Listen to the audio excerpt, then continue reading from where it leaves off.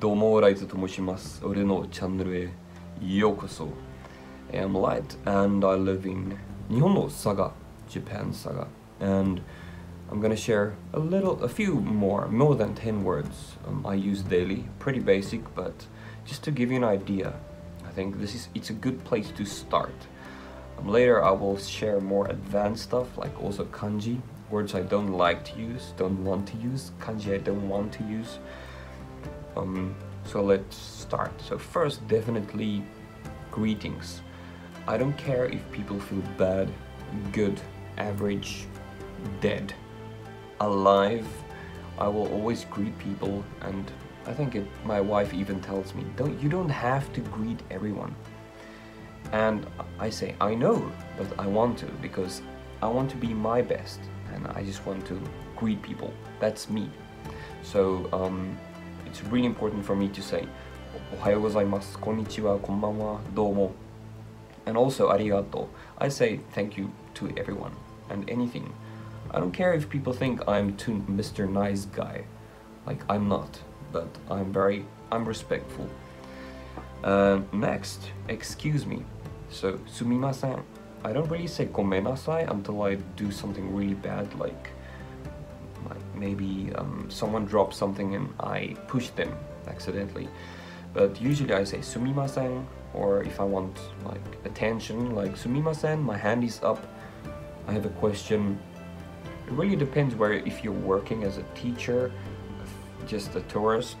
Um, so if you have a Japanese wife or husband, kids, believe me, my list is actually like with my kids I use a lot of other words, but Let's not go there today and the next dates.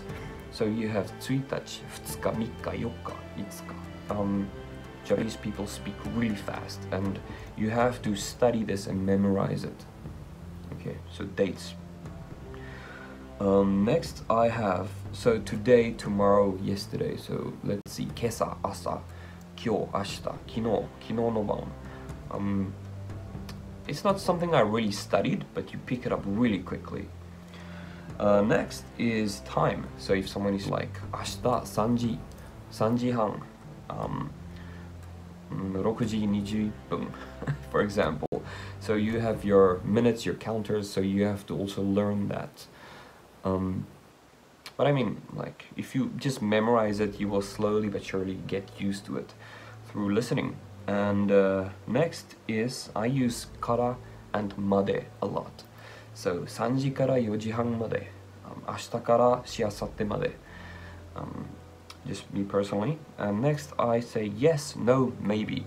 So はい、うん、いいえ、うん、多分。When I came to Japan, I used tabun a lot because I was I wasn't sure of everything. Now I'm more confident, so I just say そうです。はい。もちろん。 そうでござる。